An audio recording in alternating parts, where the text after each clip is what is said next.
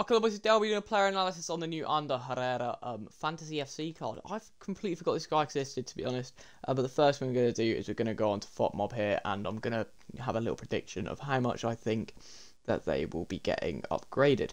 So, Athletic Club, they... Um, I don't know if this... they No, it doesn't count. So they would have had a draw, but it didn't count. So, they have got Las Palmas, Deportivo Alavés, Real Madrid, and then Mallorca in the Copa del Rey. Um, and does Ander Herrera play every single game? I've got a feeling he doesn't, to be honest. Didn't even play. He's probably injured, isn't he? Well, yeah, doing. But he's yeah, he's injured until the end of March, so he might make one appearance. So the three appearances and the goal slash assist is done. They're not getting it. But Athletic Club are fairly good. They're fifth in the league, so I back them to get two got um two wins. And they've recently they've got a few sort of four goal dubs. So they might get the 11 goals, but it's not going to be looking like more than one upgrade here, boys, unfortunately. So in the actual review, then let's actually do this. So he's six foot, high, high, three star, four star, right foot, controlled, explosive. That's good actually. Brilliant start, high, high work rate for a centre mid, amazing. And a three star skill moves is a bit dead, but who uses skill moves? But no, respectfully, if you if you've got a player with five star skills, how often do you use the five star skills? Because I just never do. He could play CDM to be fair, but you know he also fits in as a centre mid.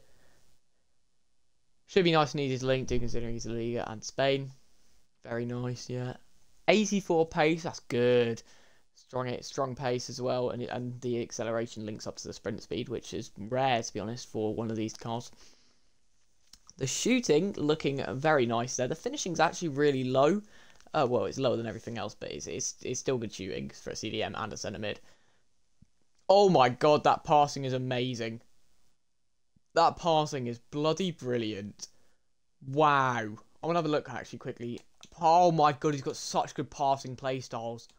I actually maybe play him as a CDM because he, he could be a little bit of a D-line playmaker for you, just play balls over the top. He's probably got really, really... He's probably like Kevin De Bruyne passing. That is amazing. Uh, dribbling is good there as well. Defending's brilliant. Yeah, I'd say CDM for this guy, guys. Honestly, he looks like a fairly nice CDM. More of a ball playing CDM than a defending CDM, though. But he's got dead ball as well, intercepts, slide tackles. Yeah, yeah, yeah. CDM. There's really good play styles on there. And he's an 85 and an 86 score, both for a team in a week. Is that a bit of an overprice? Now, I feel like if you've got a Liga team, this is definitely a card you want to get in there. But apart from that, probably not.